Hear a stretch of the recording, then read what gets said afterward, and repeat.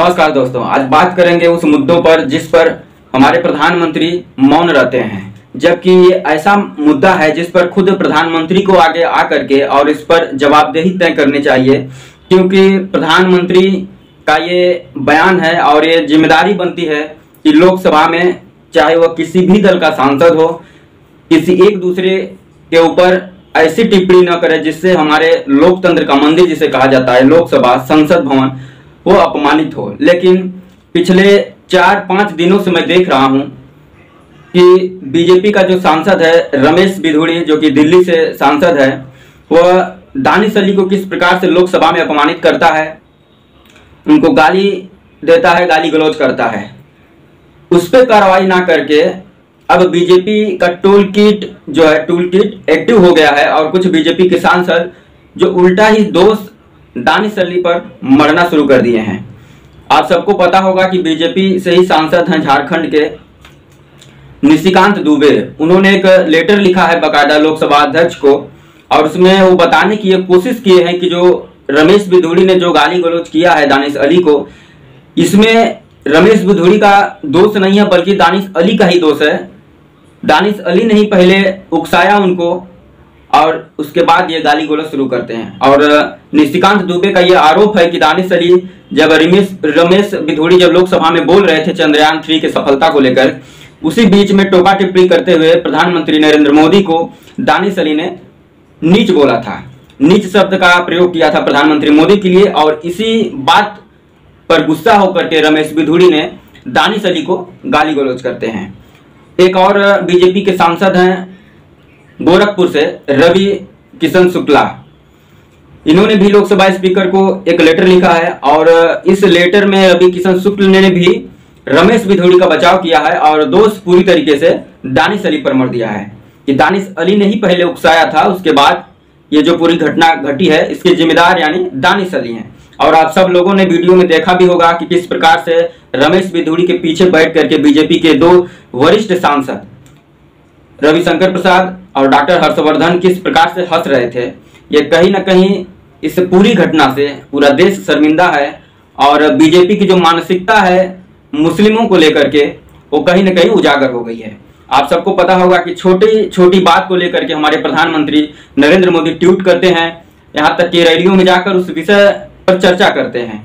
लेकिन इतनी बड़ी घटना घट जाने के बाद भी अभी तक ना ही प्रधानमंत्री की ओर से कोई बयान आया है और ना ही अभी तक गृह मंत्री की ओर से इस पर कोई बयान आया है। बल्कि पूरी बीजेपी टीम, पूरी बीजेपी पार्टी उस गालीबाज अपने सांसद को बचाने के लिए मैदान में उतर गई है। और अभी तक कोई भी कार्रवाई उस गालीबाज सांसद पर नहीं हुआ है। अब इस बीच में एक कहानी मैं आप सबको बताता हूँ। सन 2006 की लोकसभा में असदुद्दीन ओवैसी जो हैदराबाद से सांसद हैं, उस समय भी वो सांसद से, हैदराबाद से ही, और सिवान से सांसद थे डॉक्टर साहबुद्दीन ये दोनों लोकसभा में मौजूद थे। असुद्दीन ओवैसी ने तत्कालीन उस समय के मुख्यमंत्री गुजरात के नरेंद्र मोदी के ऊपर कुछ अपमानजनक शब्दों का प्रयोग किया था, जिसको लेकर के बीजेपी की पूरी जो कि सांसद की टीम खड़े हो गई और वेल में आने की कोशिश की।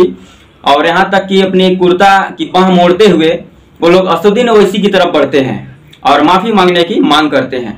ये देखते हुए डॉक्टर साहबुद्दीन को जब लगता है कि ये पूरी टीम भाजपा की असुद्दीन ओवैसी के पास आ रही है और हत्थाबाही करने पर पूरी तरीके से उतारू है, तब डॉक्टर साहबुद्दीन अपनी चेयर से उठते हैं और आगे की तरफ़ बढ़ते हैं, यानी असुद्दीन ओवैसी के पीछे जाकर के खड़ा हो जाते हैं। और जैसे ही असुद्दीन साहबुद्दीन जाकर असुद्दीन ओवैसी के पीछे खड़े होते हैं, पूरी की पूरी टीम, जो कि भाजपा के जो सांसद थे, वो वहीं पर खड़े हो जाते हैं। ना सिर्फ़ खड़े होते हैं, बल्कि जा करके अपने अपने चेयर पे बैठ जाते हैं।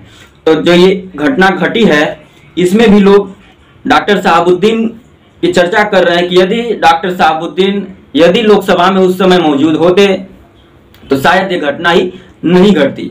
कुछ लोगों का तो यहाँ तक भी कहना है कि दानिश अली की जगह यदि डॉक्टर साहबुद्दीन लोकसभा में होते और उनसे रमेश बुधड़ी का जो ये, जो गाली गलोच हुआ है, अगर हो जाता तो जो रमेश बुधड़ी बोलते हैं कि चल के तुमको बाहर देख लेंगे, लोगों का कहना तो ये है कि बाहर आने की ज़रूरत ही नहीं पड़ती, लोकसभा में ही इस मामले का रफा दफ़ा हो जाता साहबुद्दीन के द्वारा ये कर दिया जाता। है तो ये पूरी घटनाक्रम को लेकर के कहीं ना कहीं डॉक्टर साबुद्दीन भी ट्रेंड में हैं, लोग इनको भी याद कर रहे हैं।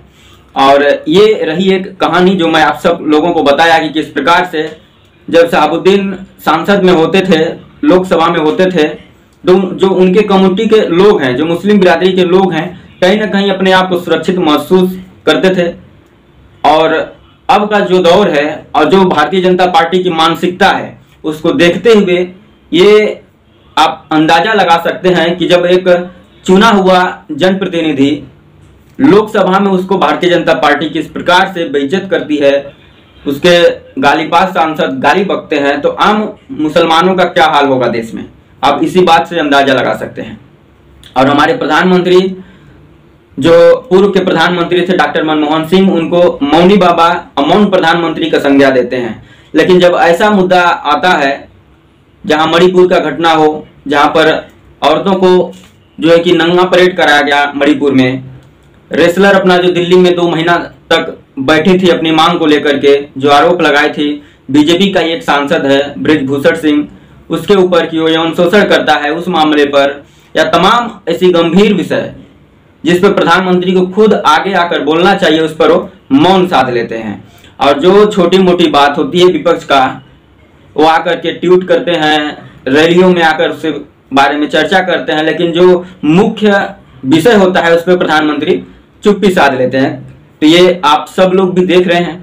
आप सब लोग भी निर्णय कीजिए कि क्या प्रधानमंत्री की ये जो चुप्पी है, ये सही है या गलत है? क्या प्रधानमंत्री को इस गालीबाज अपने सांसद के ऊपर कार्रवाई नहीं करनी चाहिए। क्या ये लोकसभा में जो घटना घटी है, इस पर क्या प्रधानमंत्री या गृह मंत्री को जवाबदेही तय नहीं करनी चाहिए? ये तमाम ऐसे सवाल हैं जो आज भी लोग पूछ रहे हैं और देख रहे हैं कि कब तक इसके बारे में जवाब आता है। कब लोकसभा स्पीकर के द्वारा उस गालीबाज सांसद के ऊपर कार्रवाई होती है, ये सब देखने वाली बात है। तो दोस्तों, ऐसे ही वीडियो के लिए हमारे चैनल पर बने रहें। चैनल पर अगर नए हैं तो सब्सक्राइब कर लें। वीडियो अच्छी लगी तो लाइक कर दें। जय हिंद, वंदे मातरम।